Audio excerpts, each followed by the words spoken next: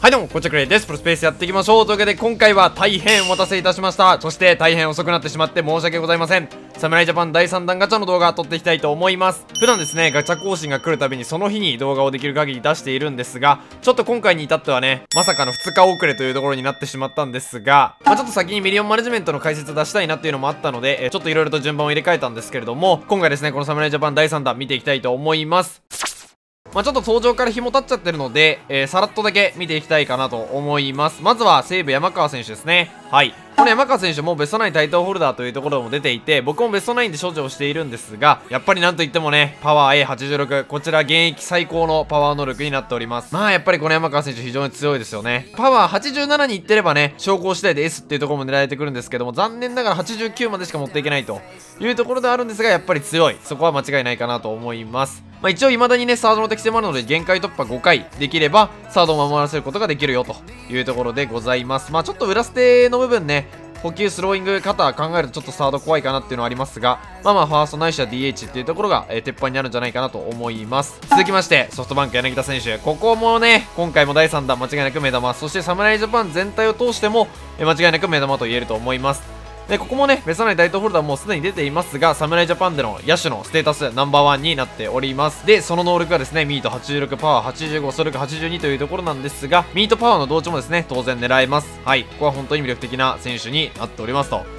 まあ来シーズンあたりな、センター C とか B あたりになってほしいなって個人的には思ってます。まあ一気に B まではなかなか難しいにしても C で65ぐらいはいってほしいかなって個人的に思っております。続きまして2チャム、上沢投手。ここはですね、個人的に侍ジャパンの投手陣の中でかなり上位で狙っている選手なんですが、まずは何より素晴らしいのが9位とスタミナの同値。そしてそれぞれ称号次第で A に乗せることも可能で、さらに3捨て全同値っていうところもね、まあ、称号次第では狙えるというところでございます。3捨て同値かつ全部 A っていうのはさすがに無理なんですけど、まあ、かなりオーダーの幅を広げられる選手なんじゃないかなと個人的に思っております。かつね、この技として、中継ぎもいけるんですよね。ここが熱い。まあ、限界突破3回必要になりますが、ここが非常に熱いと。あとは、第2球種も含めた6球種かな、えー、持っているっていう部分での球種の数も申し分ないかなというところですね。続きまして、ロッテ成田選手。ここがですね、S 初登場になっております。侍の中でもおそらく最年少になってるんじゃないかなと思うんですが、この成田選手の素晴らしいところは先発と中継ぎどちらも S の適性を持っているところですかね。で、まあ一応ちょっとね、限界突破の部分を考えても、シリーズ2というか多分全体で A ランクが未だに出ていなくて、まあなかなかちょっと限界突破厳しいなっていう選手ではあるんですけれども、将来的に間違いなく A ランク、S ランク、能力上がって出てくる選手だと思ってますので、まあ、ここは将来期待枠っていうところかなと、個人的に思っております。で、続きまして、楽天田中和樹選手。まあ、この田中和樹選手は最近応援歌がね、話題になったりもしましたが、まあ、個人的に、この後も別の動画でもお話ししようかなと思っているんですが、まあ、能力が上がる可能性がかなり高いんじゃないかなと、個人的に予想しております。うん、まあ、総力 A っていうところは多分見えるかなって思ってるのと、あとはミートもね、もうちょい上がってくるんじゃないかなと思ってます。あとは守備適性かな。うん、守備適性、そして裏ステッド部分でももうちょっとこの辺のパラメーターとかも上がってくるといいんじゃないかなと思っております。はい。あとはスイッチヒッターというところもジグザグに結構こだわって組んでるよという方とかからすると非常にいいんじゃないかなと思います。続きまして広島田中康介選手田中和樹選手からの田中康介選手という流れなんですがえー、この田中康介選手はメイン適性がこの侍ジャパンなんとサードになっているんですよね、まあ、ここは侍ジャパンで、サードを守ったからというところだとは思うんですが、まあ、ちょっとねメイン適性よりもサブポジの方が適性が高いっていう気持ち悪いパターンになっちゃってるんですけどまあでもサードも超ゼロでいけるっていうところは非常に、えー、熱いかなと思います。どうなんだろう？この田中康介選手サードで使う方っていうのはどこまでいるかわかんないんですけどスローイングも BA74 あるのでサードとしても全然問題ないんじゃないかなと個人的に思います。まあでも広島純正で考えていってもねサード衣笠さんとかがいるとなかなか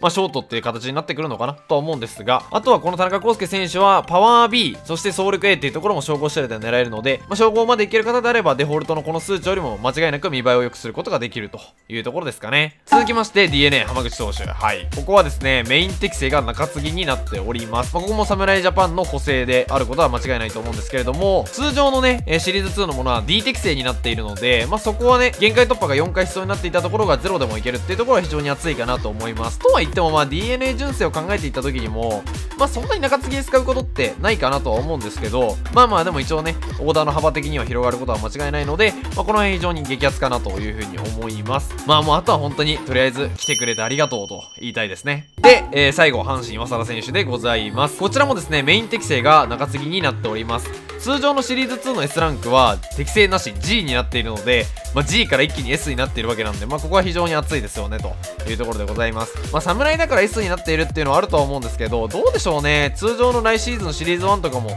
まあ、もしかしたら D とか E とかつくかなとも思うんですけどまあ、この S っていうものに関してはおそらく侍ジャパンだけだと思うので、まあ、これは非常にレアになるんじゃないかなと思います。まあまあ先発とかが集まってて中継ぎがなかなか手に入ってないという方であれば、まあ、選択肢としてありなんじゃないかなというところですかね。まあ、あとは能力の部分で考えていっても、球威と請求の同値、ここは非常に熱いかなというところでございます。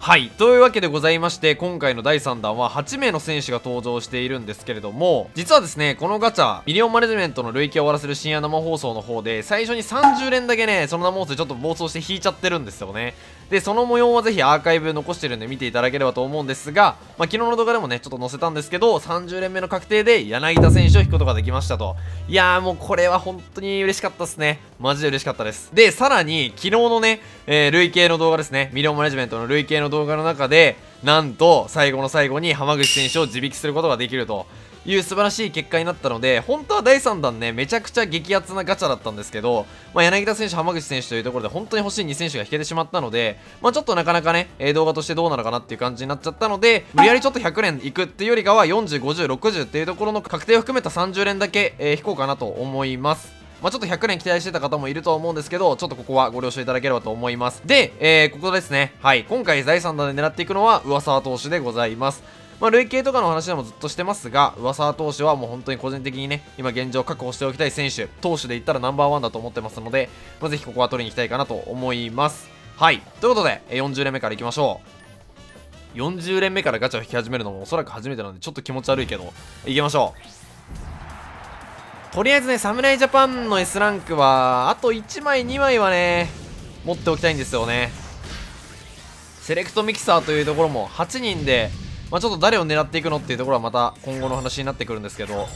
まあ、とりあえずギータ浜口っていうね、今回本当に侍ジャパンで欲しかった2選手を、とりあえずもう確保できたっていうのは激アツだなというところでございます。まずは一安心なんですが、さあ、西川選手いいですね。まあ将来いつか侍ジャパン入ってきてほしい選手でございます。去年ね、アジアチャンピオンシップというところに選ばれていたので、去年の侍ジャパンには出てるんですよね。さあ、50連目いきましょう。さあ、確定以外で出てくれ最初の30連も確定以外はね全くもって S 出なかったのでここで出したいいやー来ないまあまあまあそんなにねそんなに簡単なガチャじゃないですけどもさあ20連目。よいしょ。おお田中健介選手初めて当たりました。OK まあまあまあまあいいんじゃないでしょうか。ありがとうございます。これはなんかちょっと最後田中選手田中康介選手か田中和樹選手どっちか来そうな流れだな。ありがとうございます。さあということでそんなフラグも立てまして最後をかけていきたいと思います。いやー上沢選手欲しいな。本当にここは上沢選手1点狙いでいこうかなと思います。はいぜひ引きたいですね。お願いします。行きましょう。さあ侍ジャパン第3弾最後の確定お願いします。まあミキサーでねあんだけ S ランク解けてしまったので、まあ、正直侍ジャパンじゃなくても S ランクが来てくれるだけ枚数来てくれるだけありがたいみたいなところありますが確定以外でまずは出てくれ。頼む。さあ。おおお殿崎選手いいですね。殿崎選手の A ランク今何枚かな？3枚ぐらいかな。とりあえず早く5枚貯めたいなと思ってます。はいというわけで結局確定分のみでしたね。竹熊投手この動画を撮影してる日めちゃくちゃいいピッチングしてました。ということで確定いきましょう。さあ頼む。8分の1上沢投手1点狙い。お願いします確定。よいしょ。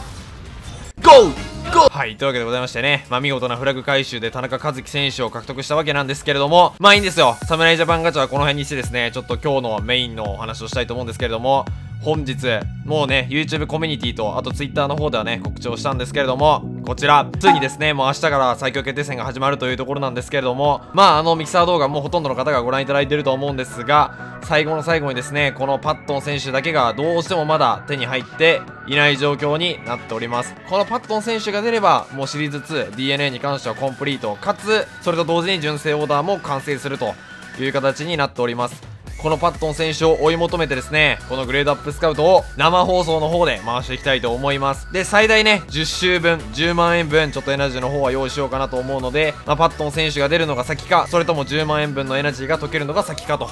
いうところで皆さんと一緒に最後の戦いをさせていただければと思いますぜひともチャンネル登録と生放送が開始された時の通知が行くようにですねチャンネル登録の横のベルマークの通知登録ボタンですねぜひ押して生放送を待機していただければと思います。ということで今回もご視聴いただきありがとうございました。ぜひともこの動画が良ければ高評価チャンネル登録そして Twitter のフォローとよろしくお願いします。そして本日の配信でぜひ皆さんの力を貸してください。ということでまた次回の動画でお会いいたしましょう。ありがとうございました。